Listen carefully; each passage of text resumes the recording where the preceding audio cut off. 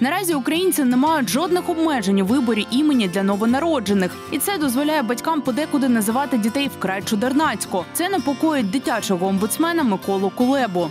Я проти того, щоб ім'я дитини було несвідомою забаганкою батьків виділитися. Власні імена батьки можуть змінювати, як їм забажається. І дитина, коли виросте, також може змінити своє ім'я. Але не можна наперед називати дитину так, що це може призвести до цькування.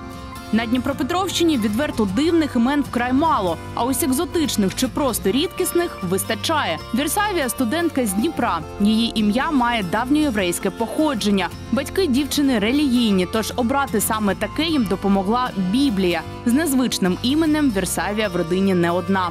Також вони з Біблії: Соломон, Єлісей, Давід, Єліазар є. Да. Це все твої брати та сестри? Ні, це мої племінники. Своє ім'я Вірсавія обожнює і дуже ним пишається. Каже, люди не одразу його запам'ятовують. Втім, за незвичність її жодного разу не цькували. Були такі моменти, що просто брали собі листочок і записували, е, як воно правильно читається. Інколи перекручують дуже багато разів. Мені це не подобається, але е, постійно на тебе якось вже звертають уваги. Ну і приділяють тобі багато уваги, тому що це таке незвичне ім'я. Як тебе зовут? Дамир. А тобі подобається твоє ім'я? Угу. П'ять з половиною років тому, коли хлопчик народився і батьки вирішували, як назвати сина, ім'я Дамір було рідкісним. Зараз розповідає його мати на дитячих майданчиках зустрічають дедалі більше Дамірів. Однолітки реагують досить нормально, так як зараз дуже е, багато таких е, необичних імен.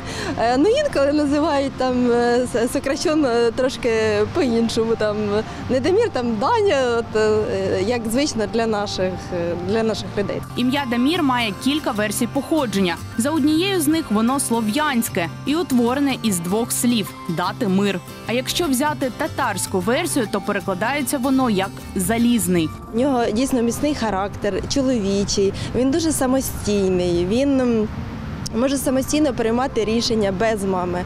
Е, І в той же час е, дуже добра, е, заботлива дитина, дуже любить свою маму та своїх рідних. Зеленський, Яник, Вакула, Лимон, Київ, князь, принц, Парижан, Луна, Імперія, Золушка, Хрусталіна, Квітка, Шанель, Нева. Фантазія батьків у 2020-му просто не знала меж. Полюбляють новонародженим також давати і подвійні імена. Це Михайло Микола, Андрій Ігор, Дана Доброміра, Анна Марія, Віра Марія, Анна Тея, Владислава Софія, Ілін Катерина. Можливість присвоєння одночасно двох і більше імен передбачена у нас, якщо це випливає зі звичаю національних меншин. Психологи ж кажуть, власне ім'я для людини найсолодший звук. Тому батьки мають дуже відповідально його обирати. Як мінімум, дитина повинна мати змогу нормально вимовити своє ім'я, а ще краще розуміти його походження. Будет момент, когда его спросят, как тебя зовут. А это уже момент самоидентификации. То есть кто я?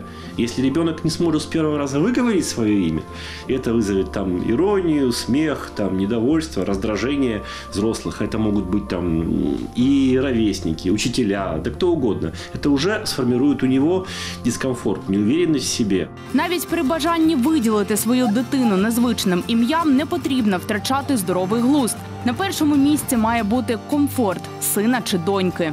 Да, конечно, хочется увековечить там в, дет- в детях как проекции в вечность, да, э, своего любимого персонажа, да, там какое-то значимое событие. Но подумайте над тем, как с этим маленькому человечку, который будет расти. Хоча рідкісні імена зустрічаються у нашому регіоні, все ж частіше дітей називають звичайними. Минулого року лідером серед чоловічих імен був Артем, а серед жіночих Софія.